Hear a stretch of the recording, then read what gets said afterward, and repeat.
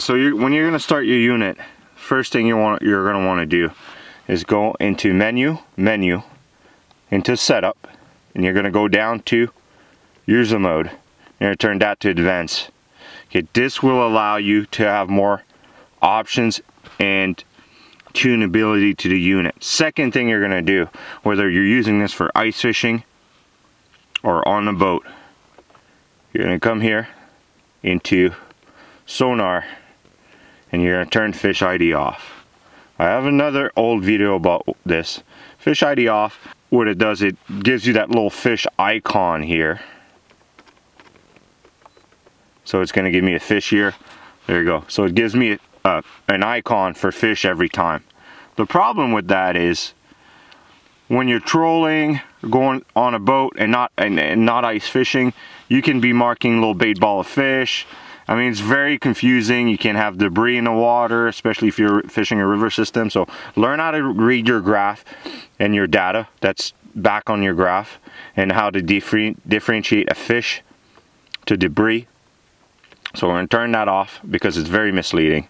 It's the first thing I do into our, when I buy a unit, is turning this fish ID off. What's great with the Humminbird Ice Helix 7 is I've really been enjoying this is the IR chirp settings, which I'm using right now. It's right here. So when you press menu, when you have it into the sonar mode, is you can play with it. And if you can see, if I leave it at off, look at all the, the return I'm getting. That's from water density and also the bottom structure. It's really hard. We're on a cliff here. So I'm able to play with my chirp IR. I have six settings and so far three is the best. It eliminates all that.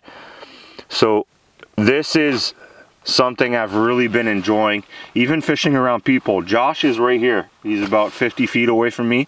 He's fishing with a different unit and it these will also be interference from his unit. So I just go into menu and play with those settings.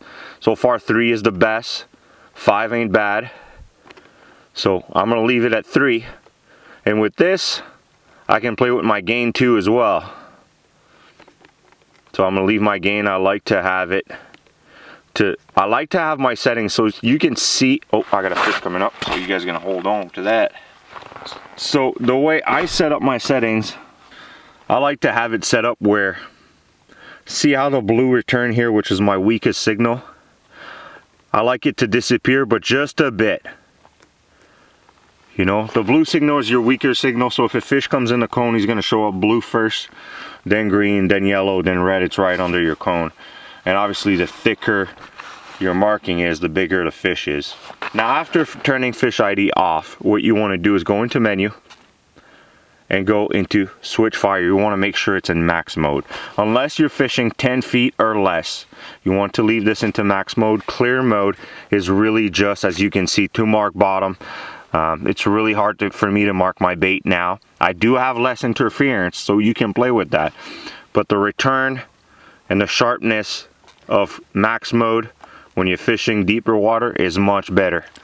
It's faster, it's more accurate I feel, so max mode is better once you're fishing deeper than 10 feet. I leave it, I leave my my speed on ultra all the time, ice fishing. I don't play with that. Always on ultra. So the surface clutter, I always leave it at one. Surface clutter is up here, as you can see.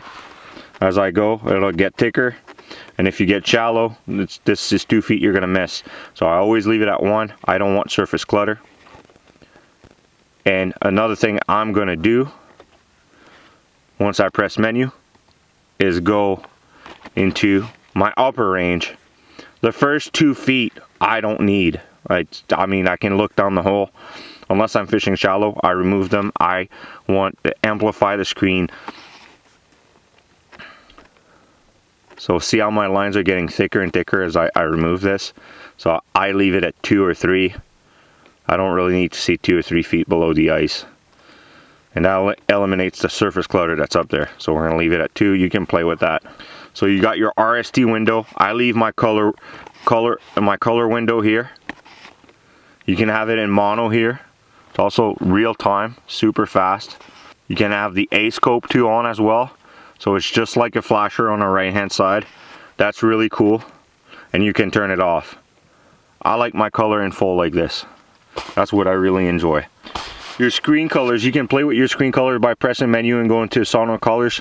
I really enjoy the dark colors first because I'm filming. If you notice, I put it at white, it's a really uh, bright return and that'll kill your battery faster. It's easier for the LED producing, requiring less electricity and energy to leave it as a blank screen. Another thing is if you're ice fishing, you press the power button and your light, you dim it down to six, this will almost double the battery, your, your battery life. That's a tip I'm gonna give you. Leave it in night mode because it'll give you the black screen as well when you're using the GPS like this. See, you can see it's a black screen. I like this. This is easier for my eyes. It's easier for the fish finder, uh, the, the battery I should say. So those are those are the settings and this is how I set up my unit. Super easy, play with it. So as for auto chart, you can see I've already auto chart. If I pull the transducer out, which I did here, I got the transducer out, and if I leave the transducer out, the reading will disappear and it's gonna start guessing a thousand feet, 500 feet. And if my auto chart's on, which is off right now, if I leave my auto chart on, I'm gonna get mixed readings here. So I wanna leave it off Otherwise, it would show a thousand feet, 800 feet. See, it, it, it, went to 300. So if my auto chart was on, it would have gave me a, a depth of 300 and it would misled my my auto chart data. You want to turn off your auto chart the minute you're going to pull the transducer off. That's a big tip I can give you to save your maps. So now I'm, I can go from holes to holes and click auto chart and it'll populate a map. Oh, I just got smoked. Got it. Sorry guys, I gotta be catching fish here. So now that you got your unit, for me, our, there's two, two screen I enjoy. Is the zoom in screen, and you can play with your zoom by pressing the minus and plus. So I'm at four times, six times, eight times is your maximum. And your number up here will tell you what it zooms at. And on the right hand side, there's a white line here. That's your zoom section. So 34 feet and below times four. And you can adjust those. What you need to do to move the cursor, instead of moving the arrows here, you need to press menu and then show cursor and then you can go and mark something if you want. If you're if I'm gonna come here and press mark, it's gonna give me a waypoint on my map deleted. Once I press exit, the cursor shows away. Another fantastic, which I got to enjoy, is the flasher mode on the Humminbird, which is really cool with your chirp IR. It'll tell you once you move and select your chirp IR, you'll have different width. So when I'm off, I have a 17 foot cone.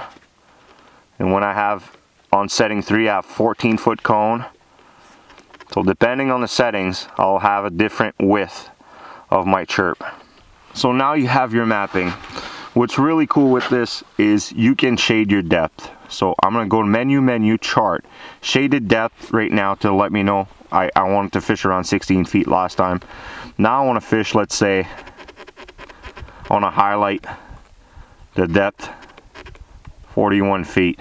So now you can see my shaded area has got here. So it's great for highlighting shallow structure when you don't want to hit them by boat, but ice fishing, let's say I want to target 41 feet or less, well, I put it at 41 feet. How cool is that? So now I'm to put it back to, say, 20 feet because that's what I like. And uh, if you don't mind me, I'm to go back to catching these fun little lake trout, hopefully to catch a big one. Don't forget to like, share the video, and uh, subscribe. If you have any questions, comment down below, and I'll answer all your questions about this unit.